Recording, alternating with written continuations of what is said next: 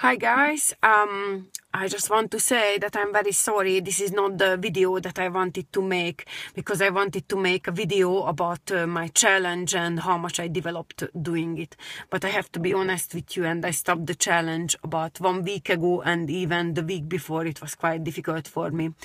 I'm sick at the moment and I'm sick for a while now and um, I have an allergy towards mold and I'm living still in a moldy environment which is causing me flu-like symptoms.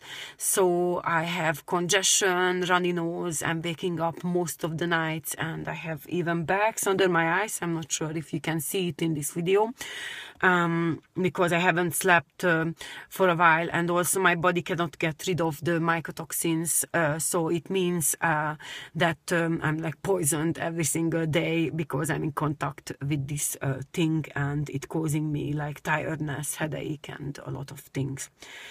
And now I really wanted to sort out this issue and um, we, we need to move away from where we are now and um, and that's why I, I, it was like a full-time job to look for a place uh, where we could live.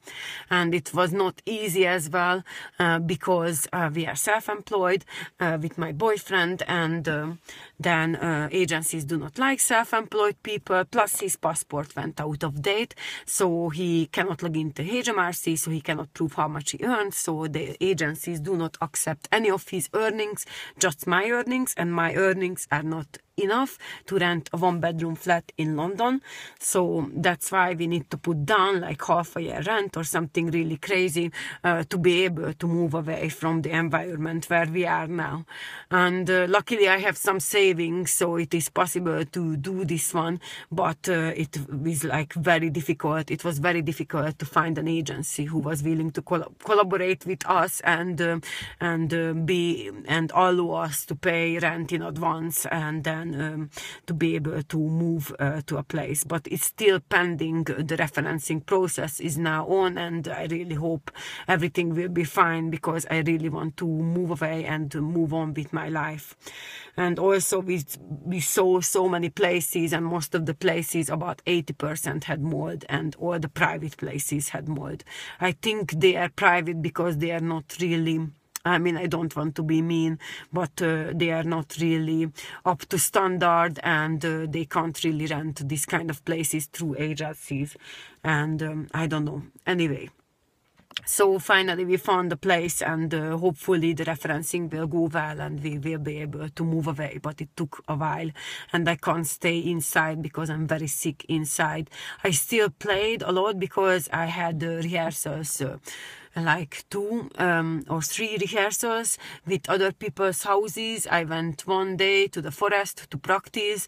Um, then it was, uh, and also I had a gig as well. So I played most of the days anyway, but I wasn't able to put down this kind of practice uh, because um, sometimes it's not possible because it's raining outside and you can't really practice it. And when you go to a rehearsal to somebody's house, you can't just say, oh, sorry, can I have like 15 minutes? I need to do this this, but maybe I should have done that one. But it's just very difficult to be motivated when you are sick, and I'm sick for a while now, and um, I really want to get better and move on. And um, the other thing is when we move to the next place, then uh, I need to be careful that we don't bring any spores. So unfortunately, I need to throw out everything, all of my books, which means all of my music sheets, all my furnitures, all of the wood, all of the clothes which unfortunately means as well that some of my instruments and this was very emotional for me because I'm really like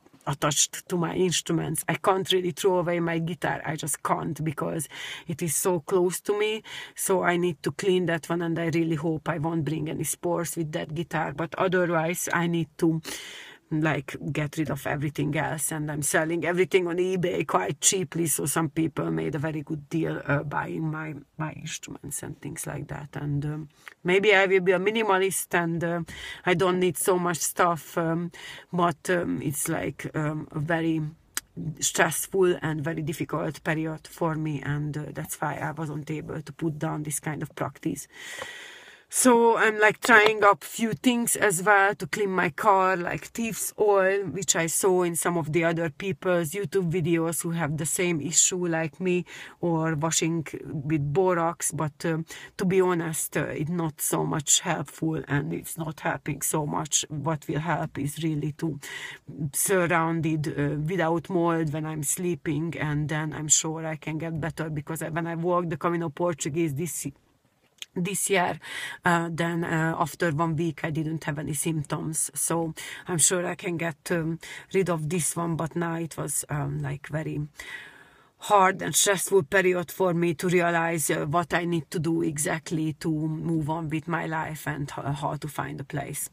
So um, I'm sorry I hope you did your challenge and I'm, I'm usually a very positive and very motivated and enthusiastic person and I'm, I really wanted to do this challenge and I'm so sorry that I haven't done it and I hope you did and I hope you you developed with this one and um, I hope that I can get back um, doing uh, proper YouTube videos very soon. I did some filming filmings recently so I hope hopefully I can keep going with my weekly